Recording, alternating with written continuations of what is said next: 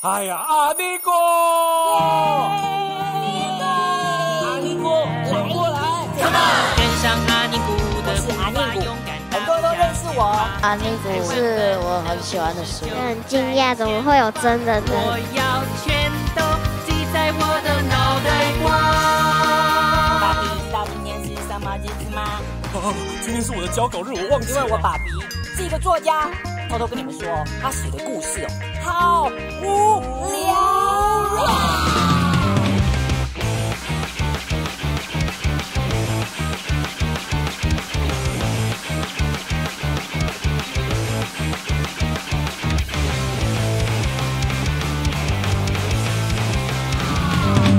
很调皮，跟我一样，我常常讲过。你们改了我的故事，阿尼哥，你被记住了。怎么这样啊？今年的生日愿望是爸比可以好好体验你写的烂故事。那我就祝你愿望成真，生日快乐！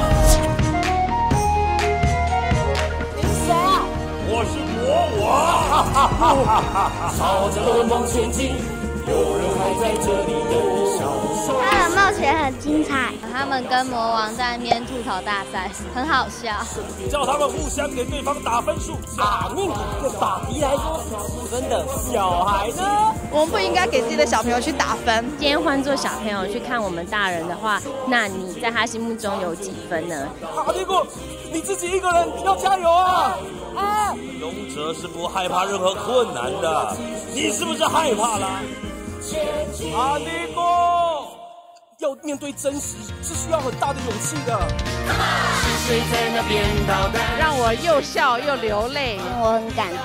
我觉得洛家精神实在太棒了，还蛮有教育意义的。这还可以触发小朋友同理心。勇敢面对自己。他勇于认错，值得我们学习。阿尼哥，打败魔王的终极咒语啊！阿尼古，阿尼古，不要闯祸了。